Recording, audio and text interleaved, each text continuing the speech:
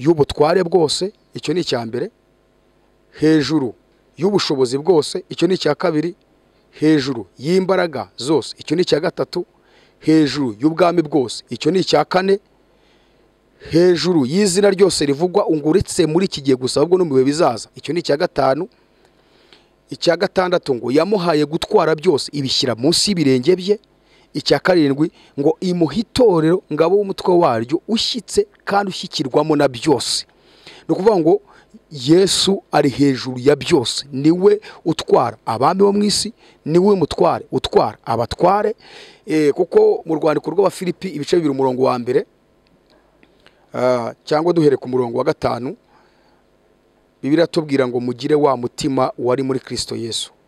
Bibiri ikatugaragariza uburyo yesu yiyambuye ibintu bigeze kuri birindwi imana imushumbusha ibindi birindwi imushyira hejuru cyane.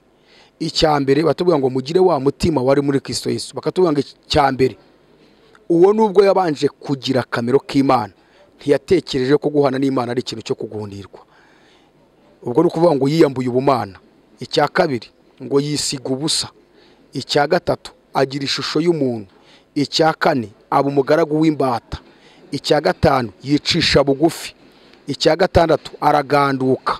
Icya karindwi ngo apfa urupfu rubi rwo ku musaraba noneho umurongo wa cyenda w'icyo gice cya kabiri cy- cy'abafilipi batubwira ibintu birindwi imana yamushumbishije kuva ku murongo wa cyenda kugeza ku murongo wa cumi na rimwe. Haratubwira ngo ni cyo cyatumye imana imushyira hejuru cyane. Icyo ni icya mbere. Icya kabiri ikamuha izina risumba ayandi mazina yose. Icya gatatu kugira ngo amavi yose amavi yose apfukame mu izina rya yesu. Icya kane ari ibyo mu ijuru icya gatanu cyangwa ibyo mu isi icya gatandatu cyangwa ibyo munsi y'isi icya karindwi ngo kandi indimi zose zihamye ko yesu kirisito ari uwiteka ngo imana data wa twese ihimbazwe. Ni ukuvuga ngo indimi zose yaba ikinyarwanda yaba igiswahire icyesipanyoro igitaliyani igisuwisi igi- iki- ikirusiya icyongereza igifaransa ikidage. Indimi zose zo mu isi zihamye ko yesu kirisito ari uwiteka. Yesu ni we mwami utwara abami ni we mutware utwara abatware. Imana yamweguriye ibintu byose byo mu ijuru n'ibyo mu isi. Reka eh, ntinyure eh, abakristo abizeye yesu. Niba waramwizeye ukaba warizeye umwami yesu. Wizeye umwami w'abami. Utwara abami bo mu isi utwara abatware bose. Yesu ni we ibi- ibintu byose byo mu mwuka ni we mwami utwara n'ibintu byose byo mu mubiri. Niba waramwizeye ntacyo uzaba. Ufite umwami utwara abami bose. Hari igihe abakristo bakunda guhinda imishyitsi bitewe n'ibibazo banyuramo n'intambara ariko niba warizeye yesu wizeye umwami utwara abami mu isi. Batubwiye ngo ni we utwara abami bo mu isi. Afite ubushobozi mu ijuru afite ubushobozi mu isi. Icyo ni icya kane twaba turiho icya gatanu kigaragaza imikorere ya yesu. Batubwiye ngo ni we udukunda. Yesu ni we wenyine wadukunze kugeza ubwo asiga ubwiza n'icyubahiro aza muri iyi si. Nk'uko bamaze kutubwira mu bafilipi. Asiga icyubahiro asiga ubwiza aza muri iyi si. Ari we waje gushaka nanjye. Twebwe bari barazimiye kugira ngo aduhe ubugingo buhoraho. Urukundo yadukunze rwatumye yisiga ubusa. Ntagire ikintu kimwe azana muri iyi si. Akabifata byose kugira ngo jye nawe tuzabibemo. Rya juru yabagamo tuzaribemo. Bwa butunzi bwose afite ari twebwe tuzabuhabwa. Yesu ni wenyine wadukunze.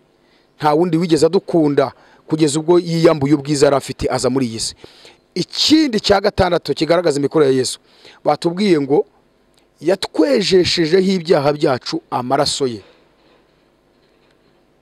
Amaraso ya yesu niyo afite agaciro. Bibiri igaragaza ko mu gihe cy'abisiraheli mu mategeko imana yarabahaye hariho n'amategeko y'ibitambo.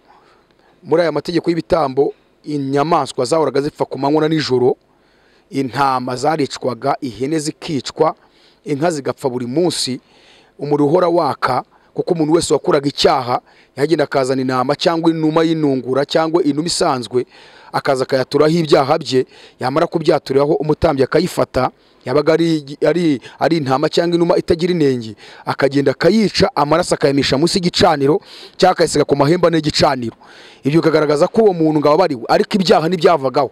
Kuko icyaha eh, cyamugumagaho niyo mpamvu uko umwaka utashye umutambyi mukuru yinjiraga ahera mu kwezi kwa karindwi ku itariki cumi n'eshanu ajya gutambirira ibyaha abantu bakoze batitomye. Bivuga ngo ntabwo umuntu yabarirwaga icyaha kiveho. Yahoraga yibutswa ibyaha bye ku manywa na nijoro.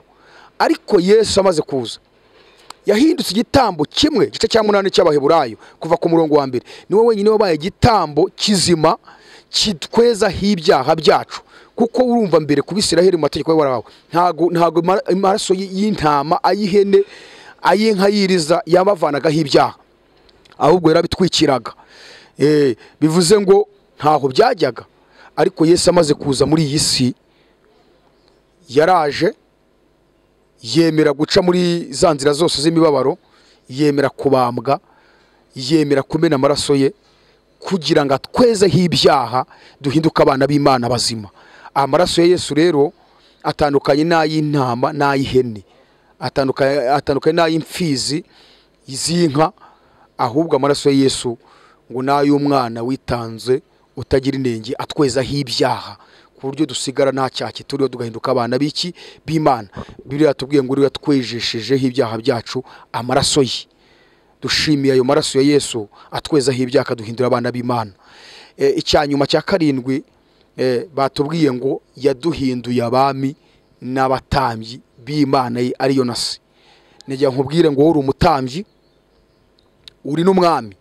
Yesu ni umwami mukuru umwami w'abami twe tukaba abami bato. Kuvuga ngo ni we mwami w'abami ari bo twebwe. Hakaba n'umwami kandi w'abatuye isi w'abami batuye isi. Noneho rero twe turi abami yesu akaba umwami w'abami. Yaduhinduye abami cya kabiri aduhindura n'abatambyi. Eh, nujya ugenda nuba wicaye aho uri hose. Nubwo wagira mu bibazo mu ntambaro mu makuba. Ujye wibuka ko uri umwami ujye wibuka ko uri umuntu ukomeye.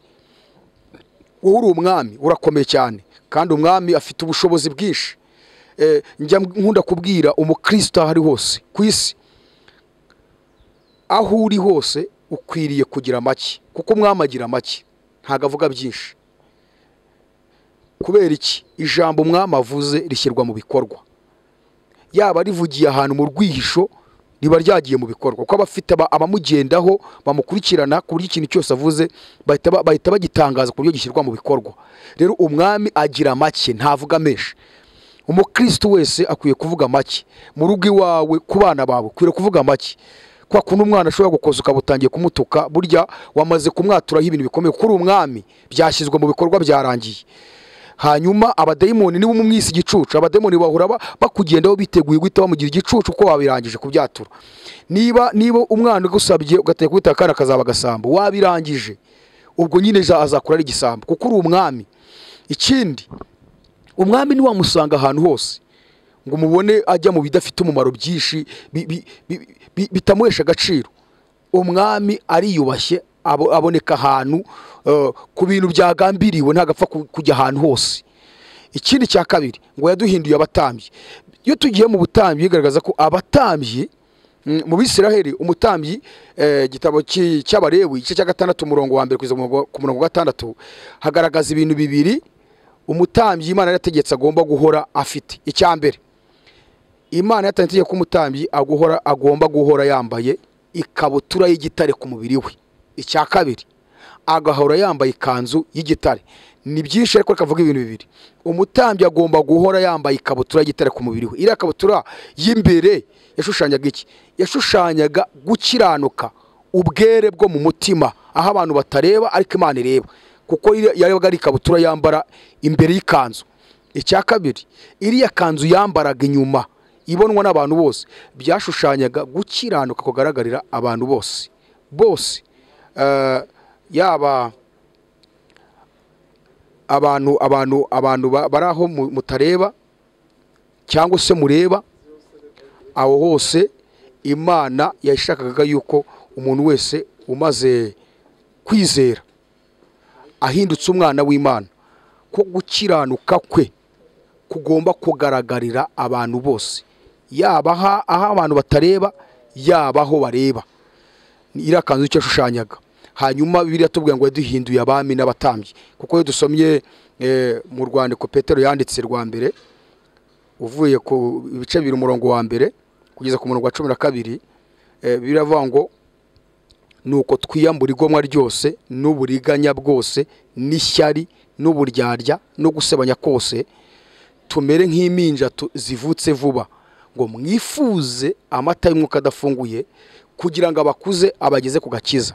Aravuga ngo niba mwarasogongeye mukamenya ko umwami wacu agira neza nimumwegere ni we buye rizima ryanzwe n'abantu ariko ku mana ryaratoranijwe rihinduka igiciro cyinshi. Namwe mwubakwe nk'amabuye mazima kugira ngo mube inzu y'umwuka umurongo urashaka cyane n'ubwoko bw'abatambyi bwera bwo gutamba ibitambo byera bishimwa n'imana ku bwa yesu kirisito ibyahishuwe ibice makumyabiri umurongo wa kane kugeza ku murongo wa gatandatu hari ijambo rivuga ngo mbona intebe z'ubwami mbona bazicaraho bahabwa ubucamanza.